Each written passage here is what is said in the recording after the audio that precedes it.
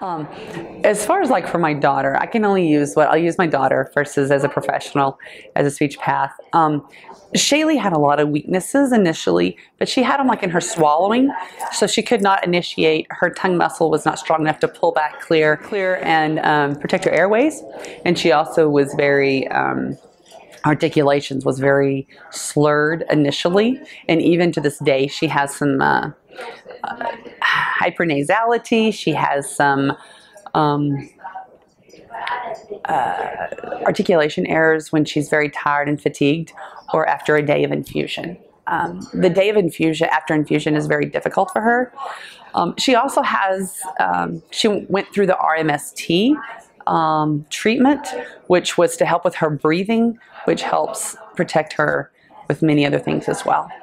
RMST is respiratory muscle strength training, which is once again, it's a speech pathology thing, and it's to help with the breathing, you know, the diaphragm strength, the intercostal muscles, to help uh, long-term breathing abilities,